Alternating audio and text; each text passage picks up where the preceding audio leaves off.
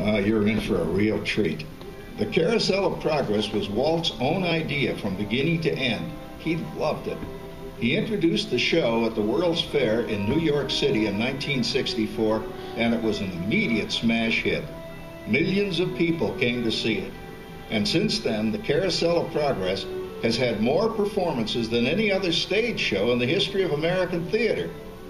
You know, Walt loved the idea of progress, and he loved the American family. And he himself was probably as American as anyone could possibly be. He thought it would be fun to watch the American family go through the 20th century, experiencing all the new wonders as they came. And he put them together in a show called Carousel of Progress, which we are now about to see. Although our Carousel family has experienced a few changes over the years, our show still revolves around the same theme, and that's progress.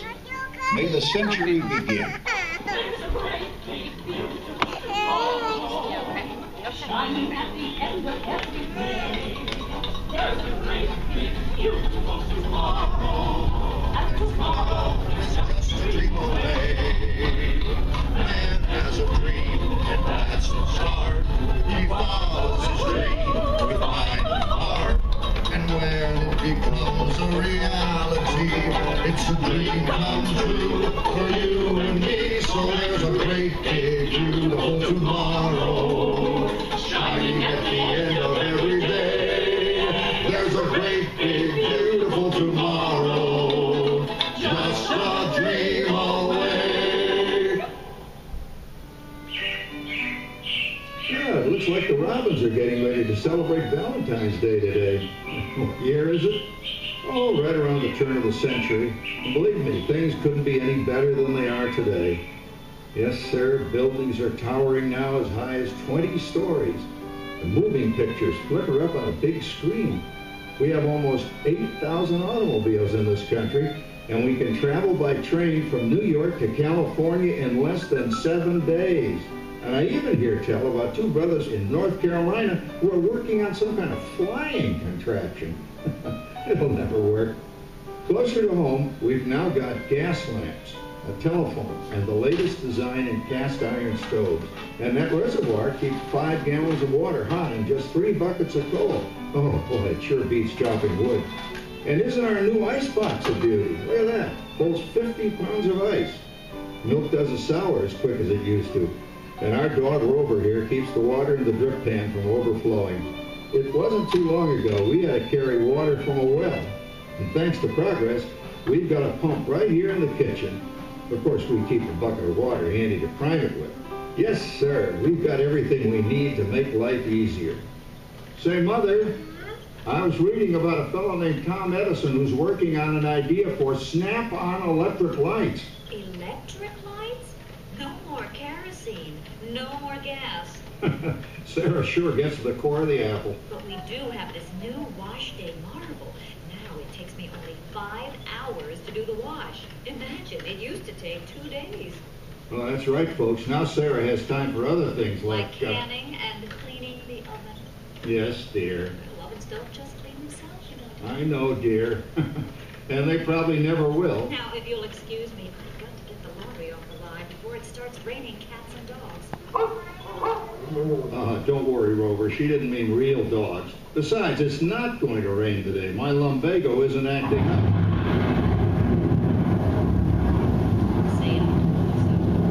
Oh, you gotta come down. All you have to do is put your wash on the line, right? Oh well, the cistern was low anyway. Wow, wait, look at that. Now, James, I thought I told you to ask my permission before using my new stereoscope. It's not a toy, you know. Ooh la la. So that's little Egypt doing a hoochie coochie, hey, Dad? Isn't she a knockout? She's the star of the new World's Fair in St. Louis, and now you put that away before your mother finds it. Aw, Dad. You heard me. Well, we have one of those new talking machines. Now that is something. It plays music right here in our home.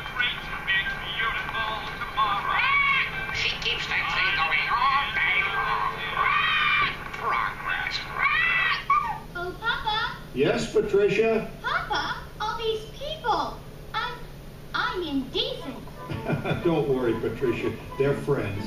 That's our teenage daughter. She's getting ready to go to a Valentine's dance across town on one of those new horseless trolleys. I think it's very romantic you're taking Mother out for Valentine's dinner this evening. Well, you know what kind of sport I am. I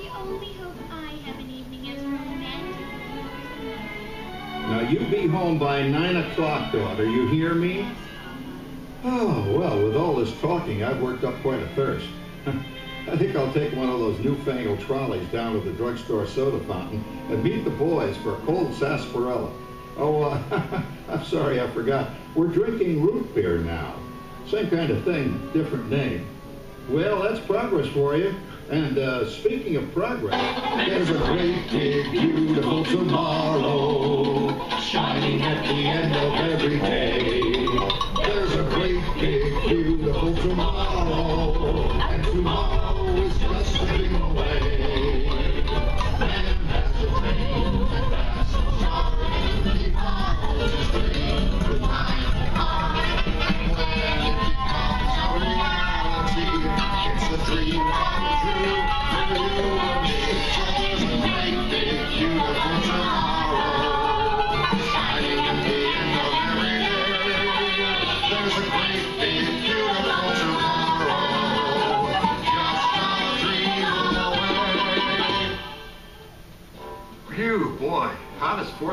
4th we've had in years.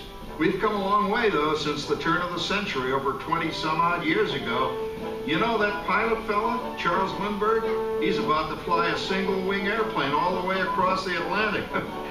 He's never going to make it. And sports stadiums are springing up all over. And boy, nobody hits that old horse hide like that new fella Babe Ruth. Jazz music is the cat's meow. And there's been ads in the paper for months for a movie starring Al Jolson. He's going to talk and sing. Oh, boy, I've got to see that. there goes Schwartz in his Hupmobile. He sure loves that horn. You know, in my new Essex, I've got an electric starter. Now I don't have to crank. We can travel from New York to Los Angeles by train in only three days. And we've got a house full of new electrical servants. Mr. Edison sure added life to our home.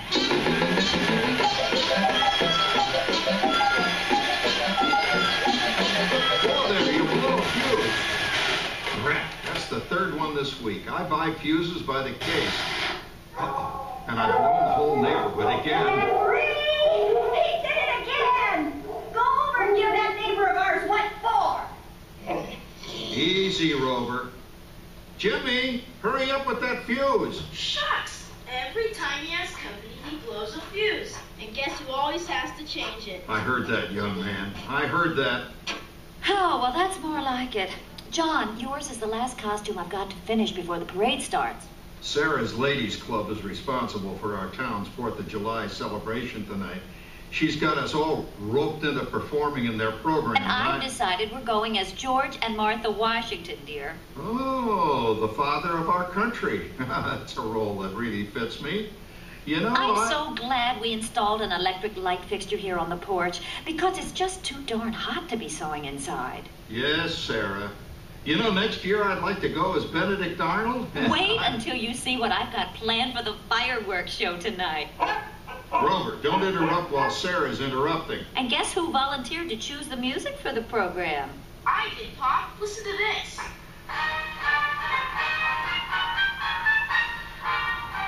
Oh, that's a nice tune, Jimmy.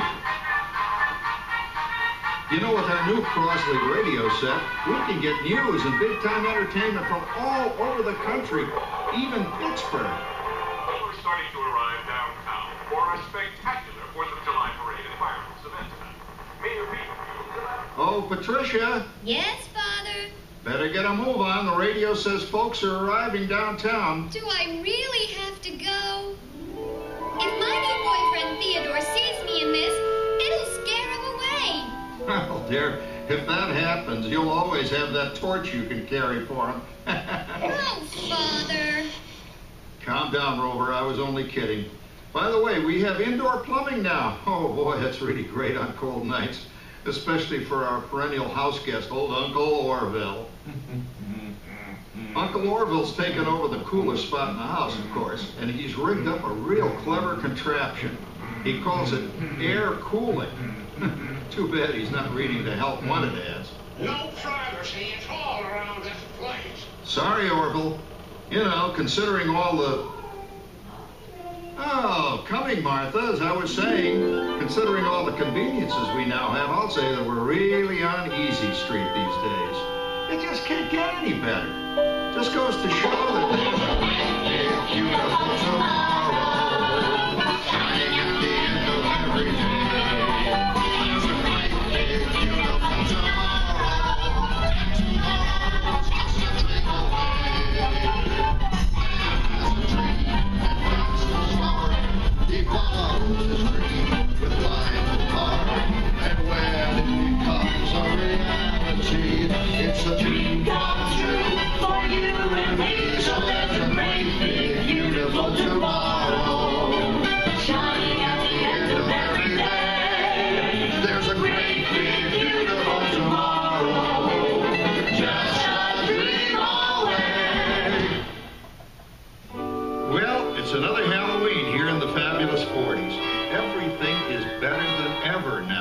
And we've got some amazing new wonders around the house to prove it. For instance, our refrigerator holds more food and ice cubes. And thanks to our automatic dishwasher, oh, I don't have to dry the dishes anymore after supper. Gives Rover and me more time to enjoy our evening stroll together. Later, boy. Oh, and here's something else that's new. I just heard a new term today on the radio. Fella says we've got something now called the rat race. Did you ever hear that one? It sure describes my life. I'm involved in something now called commuting. I drive into the city for work all day and then turn right around and drive all the way back. And the highway is crowded with fellow rats doing the same thing. That's what they call progress, dear. yeah, I guess she's right. But we do have television when it works. Gives you something to do after you come home. I kind of like it, you know? Guy named John Cameron Swayze gives us all the news. And then they have all this singing and dancing. A lot of fluff, but it's fun. You know, I predict the day when millions of people will learn Latin and Greek sitting in front of their TV sets. Are you awake,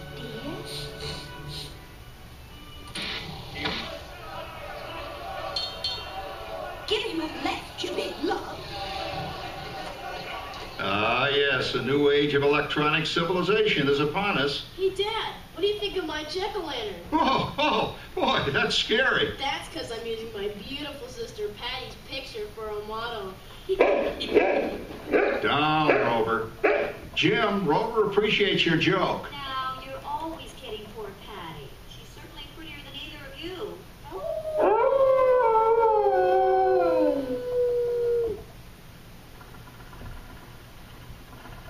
You hear that?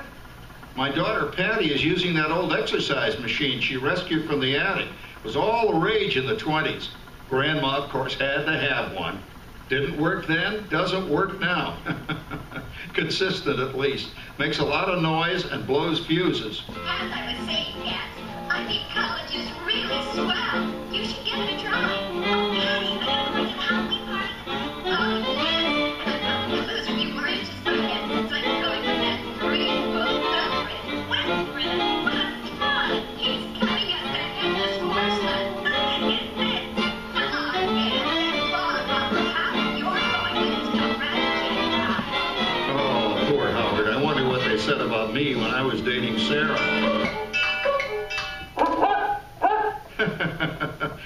Lucky, Rover. You don't have to date. Well, we're caught up in the do-it-yourself craze these days. We're remodeling our basement in something called a, a rumpus room, and we're looking forward to a few rumpuses, I'll tell you, as long as they don't get out of hand. John, this papering is getting out of hand. I could use a little help. Now, Sarah, didn't I set up that clever automatic paint stirring machine for you? Yes, John, you're a genius. Of course, this will ruin my food mixer. Not that you'd care. Oh, good old Sarah. Always the last laugh. What happened, Sarah? Oh, you and your progress. That paint mixer of yours just sloshed paint across my rump. Uh, rump office, a room. Now, how do you like that? I always say if you're going to be married, marry a girl with a sense of humor. Well, it's time to move on. Let's cheer up Sarah by singing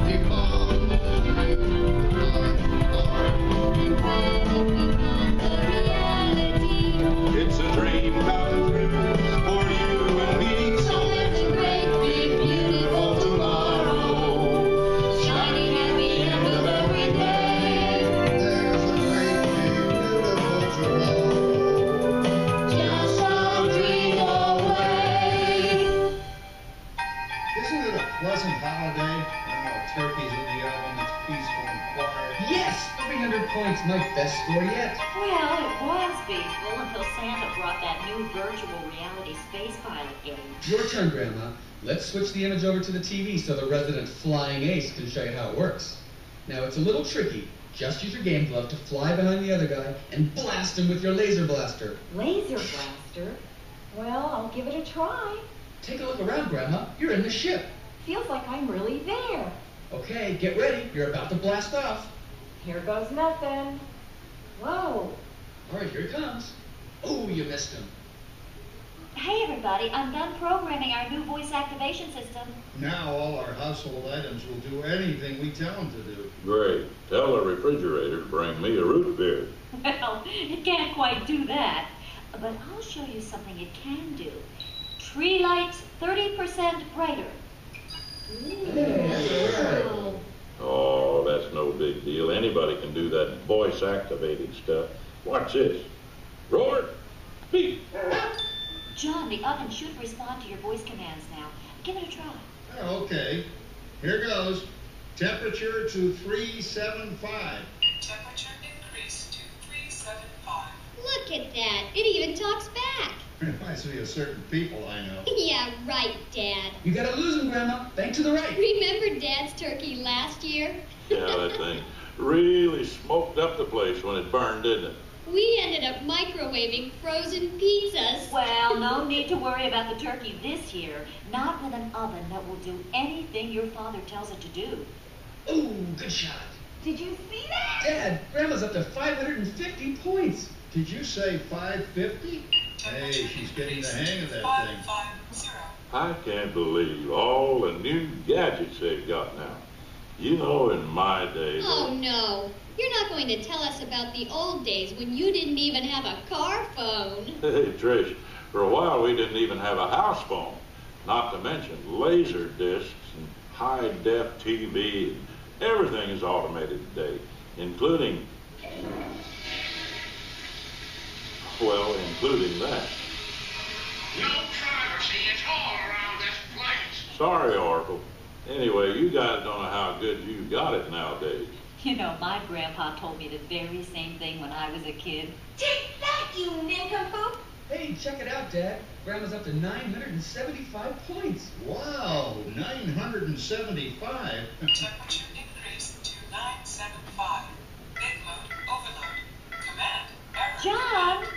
with the oven? What? Uh, uh, Big complete. Enjoy your meal. Anyone for pizza? Oh, another Christmas turkey ruined. Man, what a game. I really smoked those guys. Looks like I'm resident flying ace now. Oh, best two out of three, Grandma. Later, kid. Boy, that was fun. What will they think of next? Who knows? We've got a whole new century waiting for us out there. Yeah, and maybe sometime in the new century, your father will learn how to talk to our oven. well, maybe by then ovens will read our minds. But hey, as long as we're all here and happy and together for the holidays, who cares if I burned our Christmas turkey? I do. I'm starving. Don't worry, Dad. Someday everything's gonna be so automated you won't ever have to cook another Christmas turkey again. There's a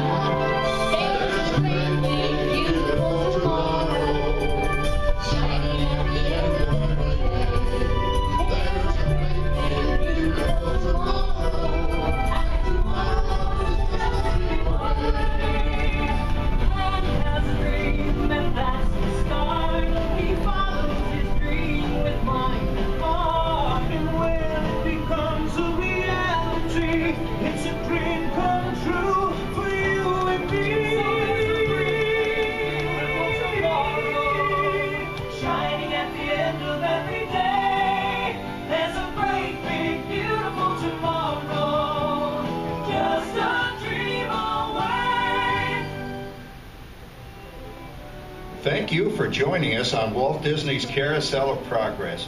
We hope you've enjoyed this tribute to the 1964 Carousel of Progress from the New York World's Fair.